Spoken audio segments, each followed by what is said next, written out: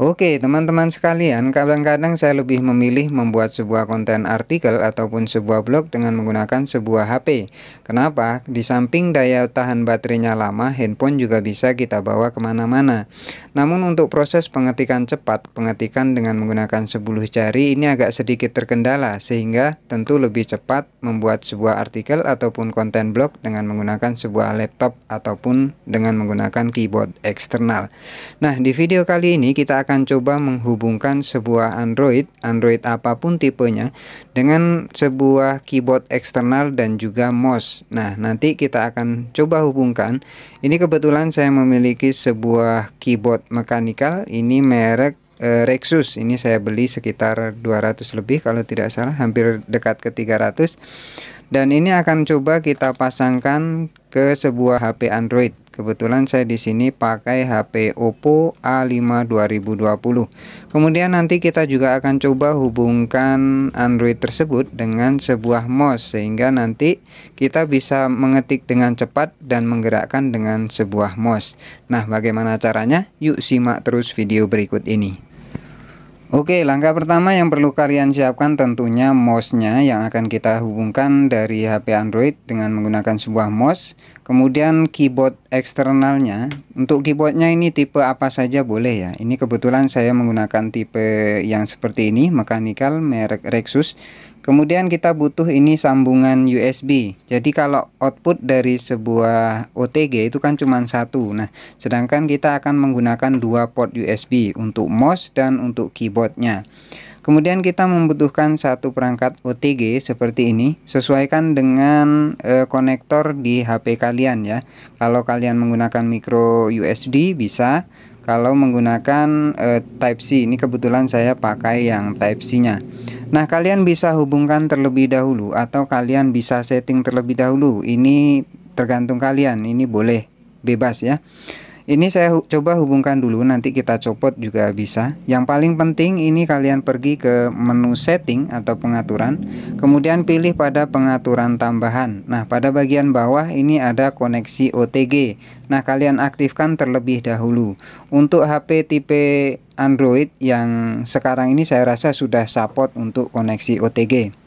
Nah, ini saya lepas kembali untuk OTG-nya. Nah, kita coba pasang kembali. Yang penting pengaturan dari koneksi OTG tadi sudah kalian aktifkan. Kemudian kita hubungkan e, koneksi OTG-nya, ya konektornya seperti ini. Nah, jika sudah kalian hubungkan dan sudah kalian aktifkan seperti tadi di pengaturan, kemudian pengaturan tambahan, kemudian koneksi OTG kalian pastikan itu sudah aktif. Kemudian kalian sambungkan outputnya itu dengan e, sambungan USB. Nah, ini kita sambungkan supaya lebih panjang dan memiliki banyak konektor USB-nya. Karena kalau untuk OTG saja itu cuma satu, jadi kita perlu sambungan USB sehingga nanti kita bisa hubungkan. Nah, ini yang langkah yang ketiga, kita hubungkan e, mouse-nya dengan e, sambungan USB-nya. Nah, ini sudah aktif dan di di monitor pada bagian HP itu sudah muncul tanda panah. Ini artinya sudah bisa kita gunakan ya. Dan ini kita putar-putar pun mouse-nya juga sudah aktif. Itu bisa kita gunakan untuk mengklik dan lain sebagainya.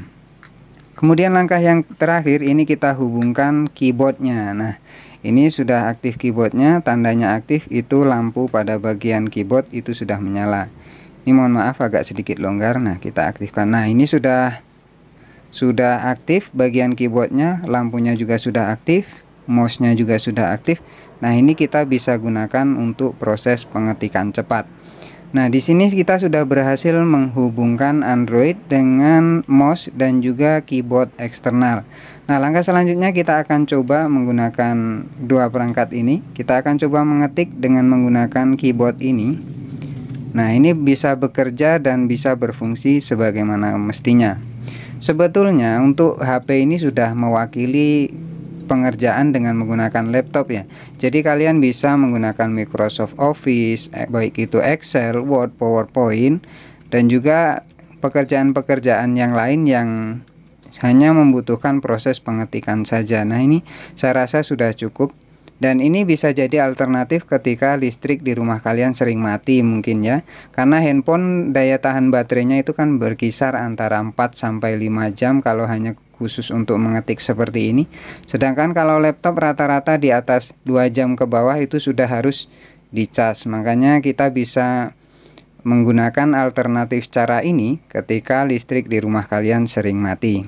Nah, ini semuanya bisa bekerja dengan normal, mouse pun bisa bekerja, Kemudian keyboard pun juga bisa digunakan.